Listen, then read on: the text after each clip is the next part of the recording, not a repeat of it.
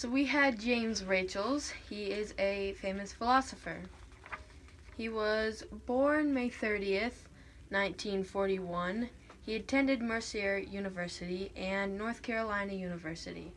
He died September 5th, 2003.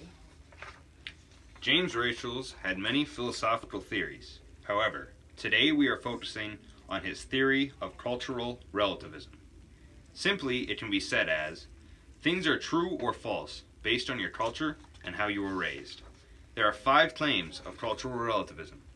These are number one, different societies have different moral codes. Number two, there is no standard for what is right and what is wrong. Number three, the moral code of one society has no special status. Number four, every moral standard is culture bound. Number five, and the last one, is there are no universal moral values or norms. These five claims may seem similar, however, each and every one has a purpose. One example of cultural relativism is the Eskimos and the American people.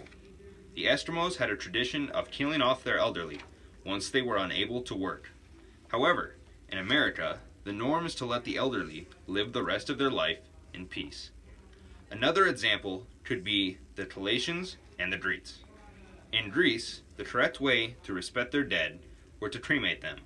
However, for the Thracians, the correct way to respect their dead was to eat their bodies. When the Greeks were told this, they were appalled. However, when the Thracians were told what the Greeks did, they were just as appalled. Cultural relativism is all based on your experiences of your life.